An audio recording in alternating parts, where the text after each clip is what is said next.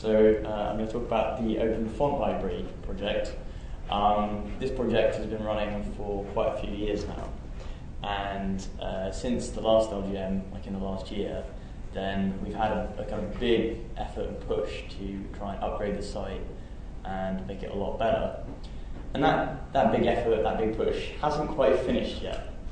Um, we were hoping to try and get it, you know, for, for the uh, conference this week. But um, some of the stuff that we've got in development isn't quite finished. Um, you know, we've, we've, we've got a really good uh, hacker, Ed Trager, who many of you may, may know from previous conferences. Um, and uh, he's been working on some, some new programs, some new features of the site. And I'm going to show you the prototypes for the functionality that we've been developing. But it's not quite integrated yet. And so the new site, which we've got here, is not yet live. So I apologise for that. Um, but we hope to get it, uh, move this new site up and running very soon. Um, so uh, the, the reason that the Open Font Library is going to become, I, I believe, quite an important website is because there's a new feature that's being added to web browsers as part of the move to implement CSS version 3. And um, this allows people to link fonts to web pages. So at the moment, up until right now, then it's only possible to really use you know, half a dozen fonts uh, that Microsoft published for free redistribution uh, back you know, in the mid 90s. And uh, you know, we're all familiar with this situation that the amount of fonts you can use natively on the web is very limited. And this year, that's going to change. Um, there was a uh, rather controversial blog post um, uh, by um, Mark Pilgrim, where he said that you know the the existing font foundries are um, he, he, was getting quite annoyed with them because uh, basically their fonts can't be used on the web, and so yeah, he put that in a pretty kind of uh, confrontational way, um, and uh, he generated quite a lot of comments, as you can see um, quite busy discussion there. Um, but the, uh, the, the fact is, is that people want to use different fonts on their web pages, and they can only use legitimately fonts that they can redistribute to everyone in the world. And so obviously, free software fonts can be redistributed like that, and so free software fonts are going to become very important for web typography. And so one of the things with the way that the web works is that you can have a page and you can link to um, other uh, pages on other websites and other images, other assets on other web, web, websites, and they can be displayed on your page. So you can have an image library like Flickr, and you can pull in Flickr's images and have them displayed on your page. It's a fairly basic web, how the web works. And so the Open Font Library is going to be a kind of central repository for free software fonts so that anybody, uh, any web page can have custom fonts displayed on them without them having to host, without those websites having to host the fonts themselves. We've uh, very generously got um, some really good hosting from the Oregon State University's open source lab, and so um, bandwidth is not a problem for us. Uh, and um, this is going to, you know, this kind of centralized hosting isn't required, obviously, but it means that people who are publishing on sites like WordPress or MySpace or whatever, where they don't have the ability to host their own files, can just drop in a little CSS snippet and they can suddenly have their page using a different font.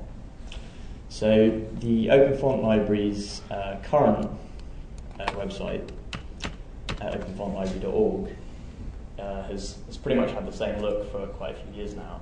It's pretty much the default skin for the content management system that we're using, which is CC Host, which was developed by Creative Commons for the CC Mixter website, which is a music sharing and remixing site.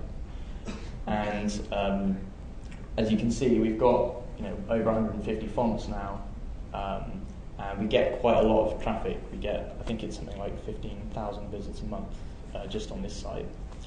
So uh, going back to about September, I uh, wrote a funding proposal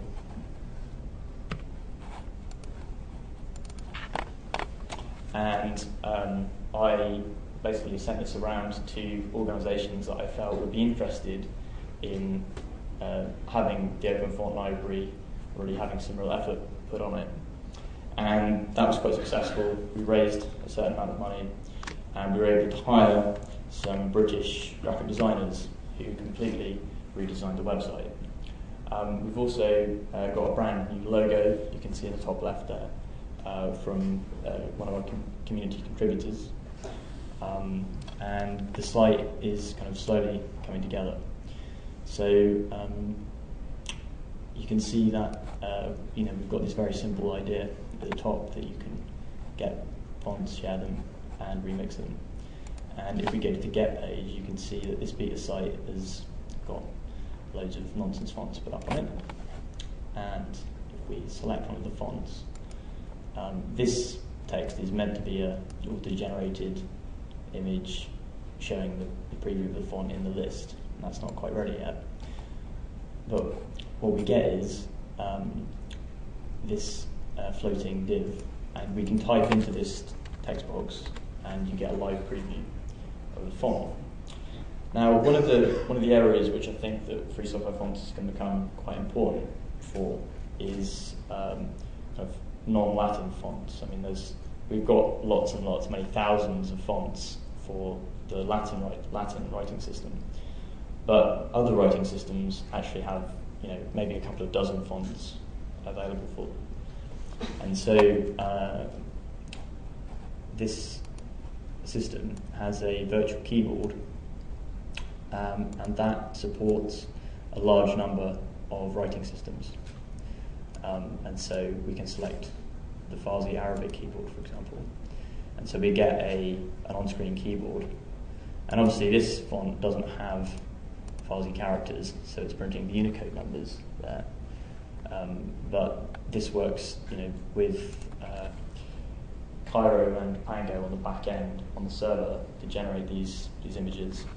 Um, and so it supports all of the writing systems that we're used to seeing support for in free software. Um,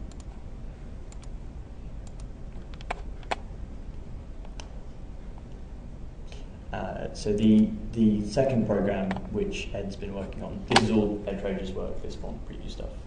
The, the second program that Ed's been working on is called Fontaine, and um, this is uh, mostly a, well, it's a command line utility that displays the key meta information uh, about fonts. And this is something that Pierre's talk was talking about. You know, you, that we have this kind of rich metadata uh, in in fonts. That's really the about the culture of typography, and having that um, you know really shown to people and made available to uh, visitors to the Open Font Library is going to be quite important, I think. And so, in terms of uh, multi uh, you know, writing systems, then uh, Fontaine um, analyzes fonts and gives um, a kind of analysis of the writing system support. And so it generates this, you know, this kind of code report, uh, which isn't very intelligible. Uh, but we've got a demo using jQuery, you know, uh, on the web, so that you can select a font, such as the SAR and Beaker, and then you can see using Ajax, it's already uploaded that, and it's um, generated the report, and the summary is shown in these symbols. And then if we click detailed report, we can see that it's got full support for basic Latin, it's got the Euro, it's only got partial support, 88% for Turkish, and we can see that you know it's missing these two uh, these two characters. And so we hope that when this is integrated into the Open Font Library, the visitors will be able to see, ah, this font supports Turkish 88%, and it only needs two glyphs to get to 100%. And that may be a kind of small contribution that I might be able to make. And so we're hoping that the Open Font Library, by displaying language coverage in this way, is going to uh, help visualize the need for the, uh, the continued community development of these fonts. Um, one of the problems that we obviously have is with a font, with a, with a website which anybody can upload fonts to, that we're going to get people submitting fonts which they're not actually uh, authorized to redistribute. And so we can see here that someone called Matt Prism has been uploading Helvetica Neue Light right at the top there. And so um, one of the problems that we have is how we're going to deal with that. Um, because, I mean, that's, that's very blatant uh, unauthorized upload. But there's a current issue about what to do if somebody takes a proprietary font, strips out the copyright data, the, the, the metadata, um, maybe maybe makes some modifications, you know, makes it stretches it a bit taller so it's not exactly the same, and tries to assert that that's their work and they're releasing that as a free software font. So that's a kind of tricky problem, and we don't have any straight answers for that at the moment in terms of technology. Um, one of the uh, members of the community, uh, Liam, has been very helpful in outlining a very kind of sane policy for how we can resolve this, where we contact the uploader and say, well, you know, what, what is this really? Uh, can you show us that, you show us your homework really, you know, where's, what's the lineage of this, where's this come from?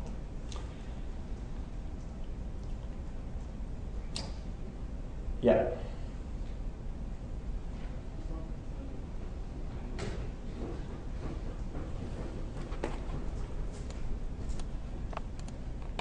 Maybe it's a slightly provocative question. Why does that have to be your problem?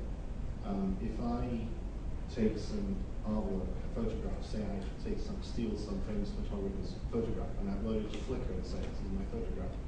Flickr doesn't typically come after me and say, you know, can, can we see the raw file, please? Can, can we see the camera data on that? Um, the photographer will sue me, Flickr won't. So why, why should it be your problem? Shouldn't it be the font designer and the person uploaded it's problem, off, off to the side? Uh, well, Mark Pilgrim wrote Fuck the Foundries, and I would say that, you know, fear the foundries. I mean, I think there's going to be a big fight over this um, because uh, these companies have a real kind of innovator's dilemma on their hands, right? That um, they've got revenues coming in from people who want, in order to get a copy of, of a font, then you know they need to go to MyFonts or Adobe.com or whatever, and you know pay for a license and get a copy. Yeah, I'm not saying it's not a problem. I'm saying where does the responsibility lie, and do you really want to get into policing every upload and sort of saying, you know, we're, we're sure that if, if there's any illegal uploads, we've caught them ourselves. Is that is that scalable? Um, it's, it's, I don't think we've really got a problem with scale. I mean, I'm not saying that there's that many free software fonts being developed. I mean, you know, that the Open Font Library as is has been up for I think three or four years now. We've got 150 fonts. Scale isn't such a problem for us. Um, and uh, dealing with this in a kind of polite social way is something. Um, and I know that Alexander has been you know, suggesting on the mail recently about having something slightly more technological. I mean, after Pierre's talk where he's, you know, he's showing it's possible for us to try and analyze font like the uh, bitstream, what the font say, you know, to say these fonts are similar. And if, if we have that kind of functionality available through software, then maybe we can do something with that on the side. If I can add a comment to that, uh, yeah. I think it's really important for us to distinguish ourselves from all the other freeware font sites. If we say we care about quality, if we say that we're not going to let any uh, random font be, be published and be classified with the others that uh, authors have expressly ch chosen to release as open fonts, then then we will create the trust that we need for this service. And um, so it's I would say it's really our responsibility to put the right kind of moderation into place for that. For mm -hmm. yeah, I mean, I, I, think that, that, we could probably we could probably reasonably defend that kind of you know like uh, yeah what do they call it the post office defence right? That, you know if you send someone a mail bomb, you can't see the mail service. Um, sorry, if someone sends you a mail bomb, you can't see the mail service. Um, and there is that there is that kind of defence. I think we could it would be possible for us to take that position. Although there are laws uh, in, in, in effect in Europe and in, in France, for example, where, where hosters are sued for copyright infringement. So it's Mhm. something that we want to avoid, I guess, as well. well, yeah, but the, I mean, I mean, there's this, there's this thing, you know, like there's this exactly. I mean, the, the, the what the free software community is doing with fonts um, is is you know it's kind of kind of orthogonal, and we don't. I just don't want to get involved in this kind of argumentative, you know, stuff uh, that Mark Pilgrim is you know, fam- famously put up. I mean, there doesn't need to be that kind of controversy. What we're doing is what we're doing. What they're doing is what they're doing. Separate stuff. And I think you know, kind of keeping that separation um, is, is a good idea. You know, I don't want that kind of confrontation. Um, so uh, moving forwards, um, then Firefox 3.5 is really going to blow the lid on this uh, this web font stuff because it's going to support this uh, on all three platforms. And you know, depending on who you talk to, Firefox is 0%, to 40% of the web browser population. Um, and uh, the other browsers, I mean, my, uh, I've got an Android phone, and that supports it uh, already today. Um, Apple's Safari uh, supports it already today. Next version Opera is going to support it, that comes out this year. And so, um, yeah, the Open Font Library isn't moved to its new version today, unfortunately. But in the next couple of months, and I hope we're going to make that push because this year this is happening, and um, yeah, we want to be ready for it. So I just want to say one, even though it's not finished, I can, I can see the potential inside. I think it looks really good. I think that's the sort of, I think the design appeal of it is going to appeal to designers. So I think it's, you're very smart to make it look very good. Um, but uh, regarding uh, the, the idea of how to prevent uh, how to prevent uploads, Mhm. I don't, I'm not sure if somebody said this or if this is totally obvious, but you can make it a community supported. Like basically, when you upload a font, it's not immediately available. It has to be vetted by trusted members of the community. Um, it seems like, and that would also get more community involvement as well. So. Yeah. Um, the the uh, the way that CC Host works, um, it doesn't have that kind of moderation key functionality, and the modifications that we're making are um, you know kind of small pieces loosely joined. I mean, we're making these extra programs which we can kind of loosely couple to CC Host, um, and uh, yeah, the actual focus on modifying CC Host, we haven't really haven't really looked at that too much. Um, really, the, the work that we've done to date has been on the design. I like to say, I mean the functionality of the old site and the new site, there's not that much difference, other than the, the stuff that Ed Trager has been working on. The, the work has been on the design and the copywriting, you know, making that someone who, who isn't involved in this yet, if they first visit the site, then it's very obvious what's going on. Just relating to what he was saying, there, there are some free font sites already, not open, but, but Yeah, dafont.com. And they do use this uh, kind of community policing model. It, it seems to work. Mhm. Uh, I mean, it's it's difficult to say because it's kind of a hard problem to solve, but um, it is in place, and it, it seems like a, a, a reasonable idea. But it, it gets back to Chris's original point of well, really, where does that lie? The, responsibility, and you know, I mean, it would be very easy for you to say, well, it's not our problem, too. Yeah, yeah. Um, I mean, I, uh, uh, I think that it would be a shame if um, the general perception was that you know free software fonts, um, some of them are like dodgy, um, and um, you know you, you can't trust those guys. Don't get into those guys. I mean, the, there's uh, this, you know, the, the font font embedding website, um, which is um, uh, by Ascender, which is which is you know promoting a, a web form DRM format, um, and uh, the, you know there is this. There's, there's also a report, I believe it was from Ascender as well, talking about freeware fonts, not free software fonts, uh, and talk because obviously freeware fonts are also going to play a role on, on the web. And the, the problem with freeware fonts is that because they're not free software, then they're low quality and there's nothing anyone can do to improve them. And that's really, you know, the features that we're adding to the Open Font Library are about exposing the problems in a constructive way to say, well, this font doesn't have very good coverage of Turkish. It's 88%. Add these two characters and it's 100. You know, let's, let's, let's, let's improve things. Great. Yeah, I mean, just if uh, low Fontmatrix wasn't playing nice this morning, I mean, yeah, it's got that technology of matching fonts.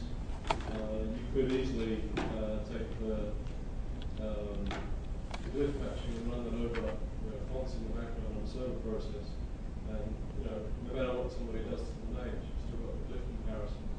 Maybe that's an option for uh, for okay, so you put the, the delay before the fonts go online, but run this process in the background and Mhm. uh, pre-sort them in that way before a human has to get involved.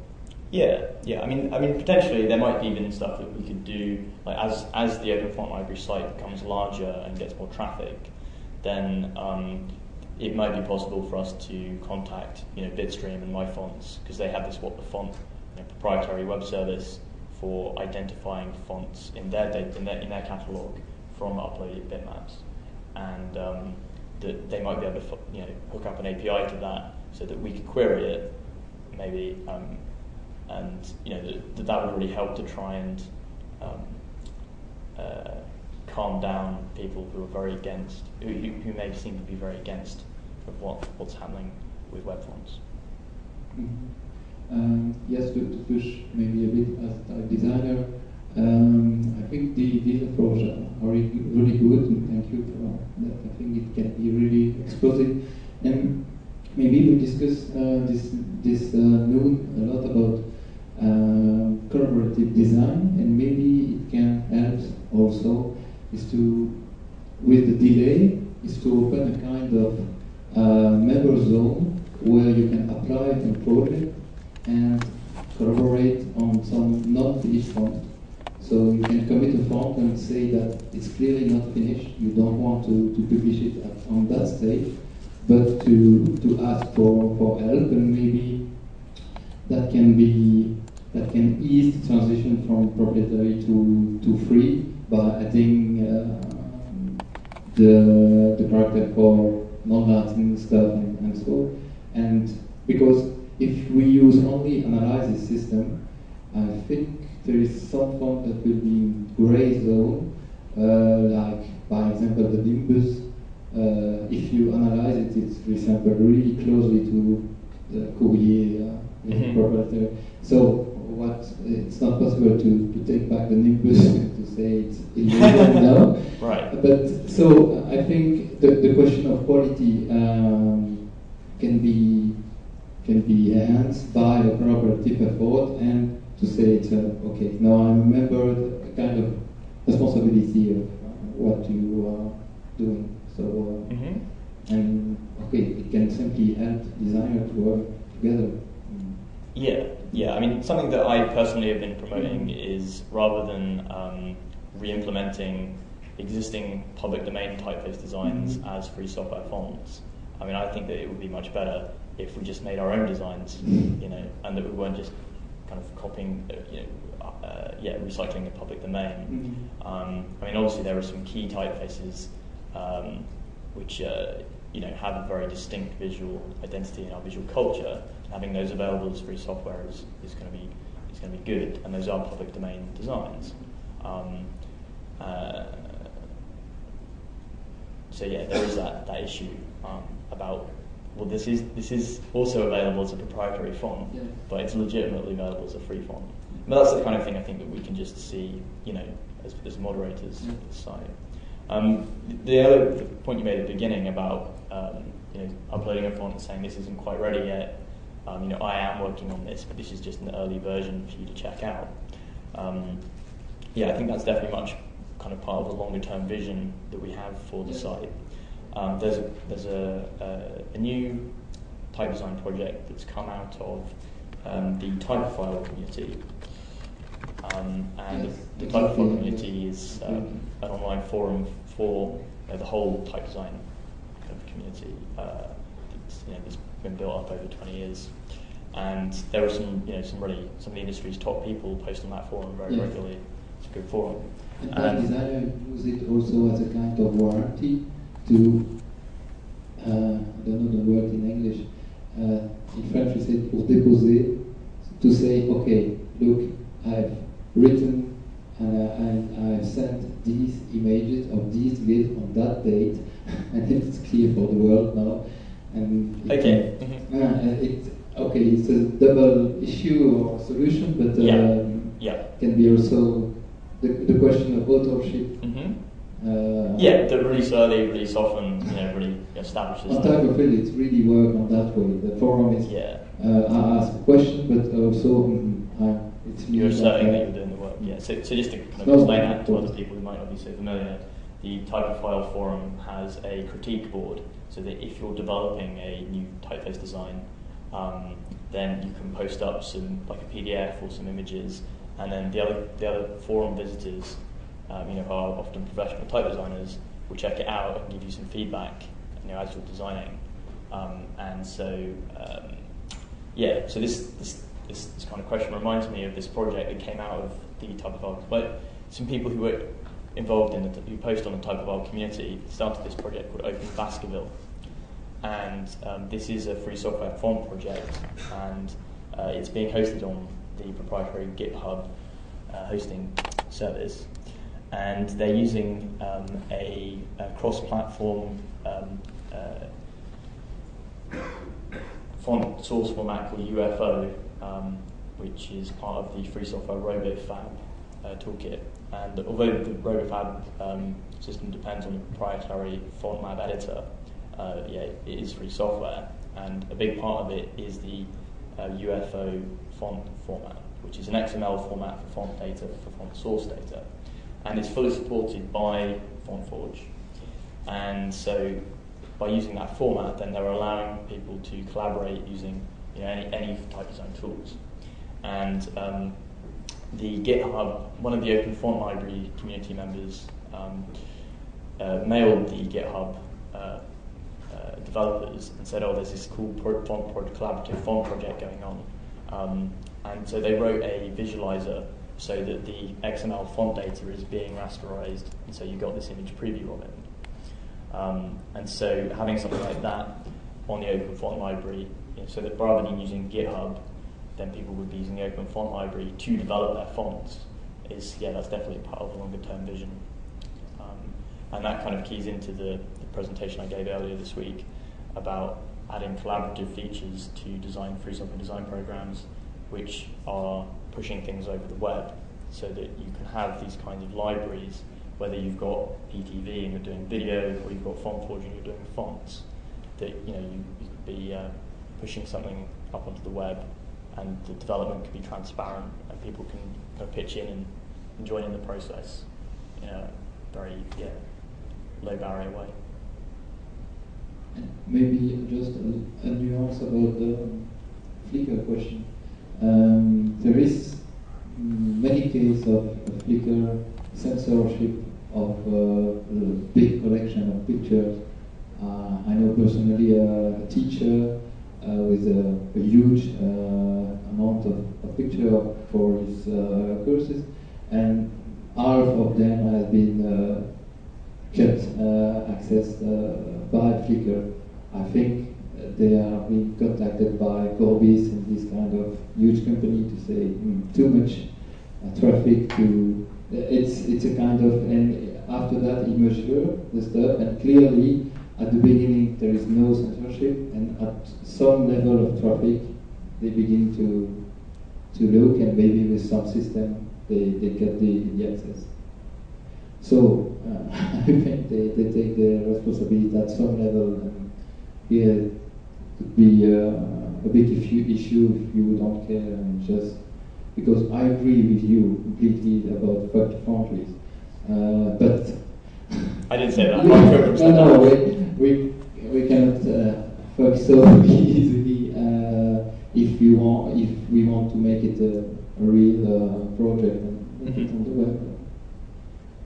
Yeah. So, so just to kind of finalise the presentation, where this is going in the future, uh, part of the part of the fundraising activity that I did last year, um, I coordinated with the TeX User Group of America to um, to administer the funds, and so. Um, uh, if you want to contribute to the project, we're continuing accepting donations via the TeX User Group of America. And um, in the future, we hope to set up some kind of Libra font foundation um, and perhaps uh, hire professional type designers to um, kind of sort kick off some of these free software font projects.